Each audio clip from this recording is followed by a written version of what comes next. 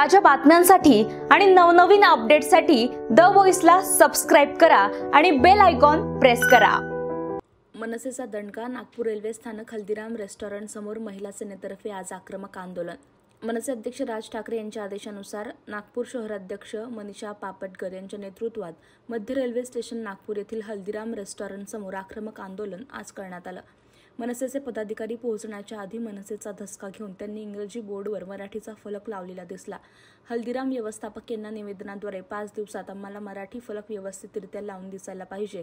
अन्यथा आम्ही रेस्टॉरंट चालू देणार नाही. तसेच पोलीस आयुक्त अमितेश कुमार यांना सुद्धा एक निवेदन देऊन संपूर्ण नागपूर शहरांमध्ये जे व्यापारी आहेत रेस्टॉरंट मॉल शाळा दवाखाने खासगी कार्यालय सरकारी कार्यालय यांना मराठी फलक लावावा. तसंच दैनंदिन व्यवहार मराठी भाषेमध्ये करावा यासाठी निवेदन दिलं. त्यांनी सुद्धा आम्हाला आश्वासन दिलं. व्यापारी संघटनांची एक बैठक बोलावून पोलीस विभागातर्फे त्यांना लवकरात लवकर आदेशाचं पालन करायला लावू. पोलीस आयुक्त यांच्या आदेशाचं उल्लंघन नागपूरमधील व्यापारी रेस्टॉरंट खासगी कार्यालय शाळा दवाखाने किंवा मॉल जर करत नसतील तर मनसे महिला सेनातर्फे त्यांच्या दुकानांच्या काचा फुटल्या जाईल हे पण लक्षात ठेवावं. यानंतर नागपूरमध्ये आम्हाला मराठी फलक दिसायला पाहिजे आणि मराठी लोकांना रोजगार मिळाला पाहिजे. याआधी सुद्धा मेडिकल चौक येथे हल्दीराम यांना निवेदन देण्यात आलं होतं. तिथला फलक मराठीमध्ये लावण्यात आलेला होता.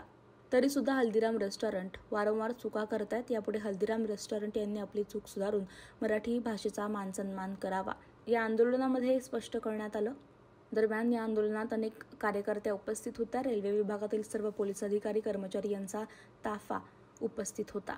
मराठी पाट्यांसाठी मनसेकडून अनेकदा आंदोलने झाली. भविष्यात सुद्धा मराठी भाषेच्या अस्तित्वासाठी आक्रमक आंदोलन होणार आहे.